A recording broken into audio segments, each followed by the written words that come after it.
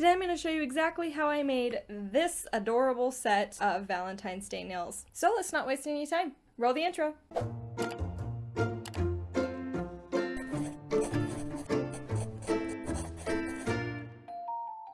Welcome back to the Pomchi Pack. If you are new here, welcome. Most of you are new to my living room. Welcome to my living room. Today is kind of going to be a more casual video. I wanted to get this done before Valentine's Day for obvious reasons because I wanted to show you this little Valentine's Day set of nails.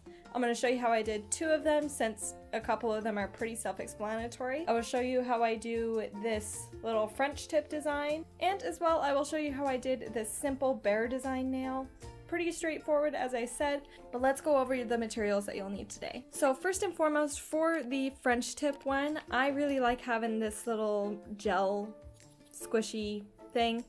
I'm not really quite sure the name of it. I got it from Amazon. I'll link it down in the description. It came in a pack of two, so you have this one that you can see through the top, and then you have this one that you can lay on the table and just stick your finger in it. It's really straightforward, super easy to use if you do your own nails. I highly recommend it.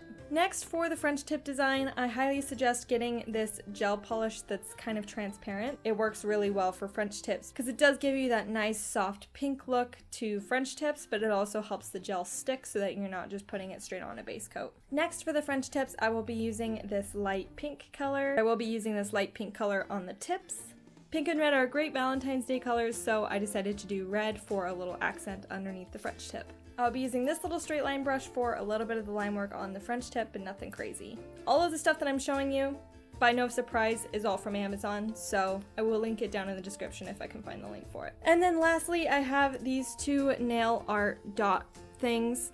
These work great for making the heart at the end, so if you don't have one, you can use a toothpick or something, but these do work great. Since I do nails a lot, I got these for myself, and they work great. I got two different sets, and I'll put them both in the description box below if I can find both. But I think that's everything that we need to go over, so let's make some fun Valentine's Day nails, shall we?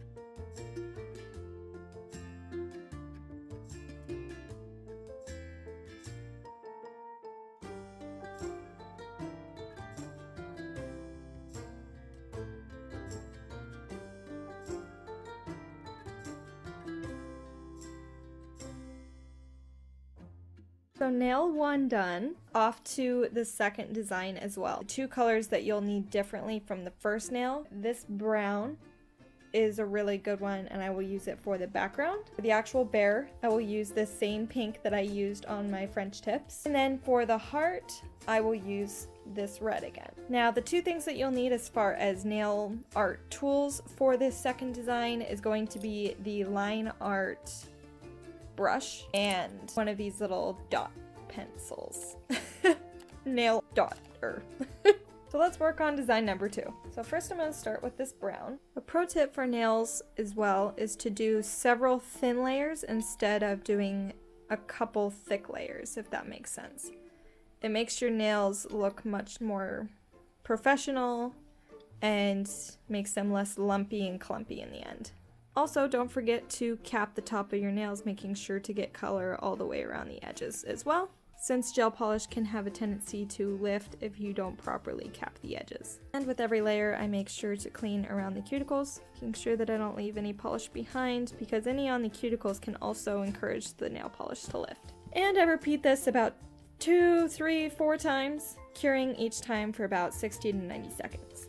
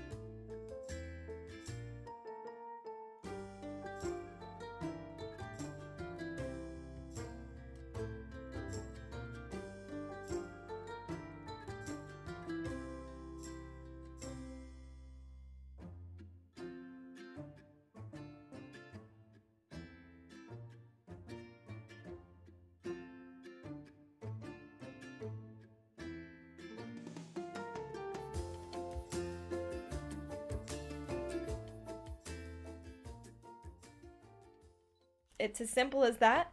I hope you guys enjoyed this little Valentine's Day nail tutorial. If you did enjoy this video, let me know because I do do my nails frequently and they are frequently festive. I do share posts on my community posts on YouTube, so if you do want to see my nails in the future for future holidays, definitely subscribe so you can see those community posts. And if you see some that you like and you would like to see a video on, let me know and comment on it and like it so that I know to make a video for you because that's exactly what happened with this one. But as I said, that's it for today's video. I hope that you enjoyed being in my living room. It is terrible lighting and the quality is not super great, but I hope that you enjoyed it nonetheless. So thank you so much for joining me today. Make it a great week by trying something new and I will see you guys next Thursday. Bye for now!